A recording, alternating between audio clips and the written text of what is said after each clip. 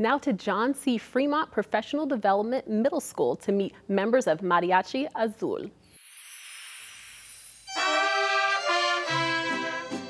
Mariachi Azul is Fremont PDMS's mariachi, official mariachi. It consists of violins, armonia, which is vihuela, guitar, and then we have trumpets. Oh, and guitarrón. When I was a little girl, I used to like watch TV with my mom and everything, and I would sometimes see mariachi groups and I would like look up to them. That we work very hard to like try because this takes a lot of timing, like all at the same time, perfect singing. We're like representing the whole school with our mariachi tradition. Mariachi is its own, its own genre. It is its own genre. Like when we, we're not band, we're not orchestra, we're not choir. You have to be able to sing like a choir, and you also have to be able to put on a show like a theater production. My family like encouraged me to be in mariachi because my family generates from like mariachi. They've all been in mariachi, so I think it was like just meant to be. Well, I just got inspired from watching my cousin do it earlier before me, and I wanted to follow in her footsteps, and I decided to do it. In Mariachi Azul, over the years, there's not just been Hispanic students. We've had everything. We've had African Americans, we had Asian Pacific Islanders, we've had everything. I like it because when I first entered in sixth grade, I, I loved when I first played with the bow. When I first played the bow on the string, I was like impressed and then like that wanted me to practice more. It's an honor to like have your traje and like get to get your own shirt with your own name and everything to have the students perform is, is, is amazing. Not having them during the COVID affected me differently. Sorry. She's, oh no, stop, stop, stop, stop, stop, stop, stop. It's because it's true. Our first selection is going to be Rudolph the Red-Nosed Reindeer. You know Dasher and Dancer